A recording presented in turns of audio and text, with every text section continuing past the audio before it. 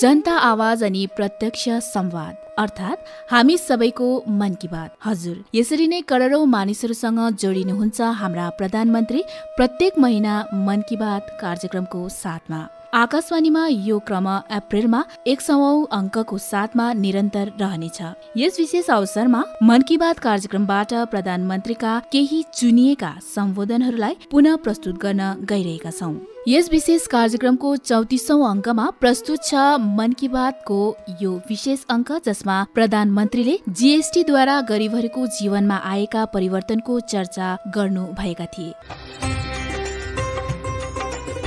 GST अर्थात् general service tax लागू भए पश्चात केवल सरकारी भण्डार मात्र भरिएन तर आम मानिसहरूका जीवनमा पनि परिवर्तन आएका छन्। जब जीएसटी लागू गरियो तब थरी थरीका आशंकाहरू गरियो। तर अब परिस्थिति बदलिएका छन्। यसै परिवर्तनका चर्चा तीस जुलाई दुई हजार सत्रको मन की बातमा प्रधानमन्त्रीले यसरी गर्नुभयो। मुझे बहुत संतोष होता है खुशी होती है जब कोई गरीब मुझे चिट्ठी लिख करके कहता है कि जीएसटी के कारण एक गरीब की ज़रूरत की चीज़ों में कैसे दाम कम हुए हैं, चीज़ें कैसे सस्ती हुई है।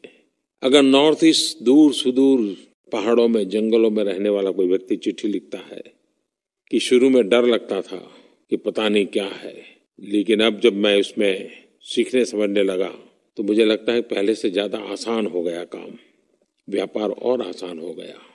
और सबसे बड़ी बात है, ग्राहकों का व्यापारी के प्रति भरोसा बढ़ने लगा है।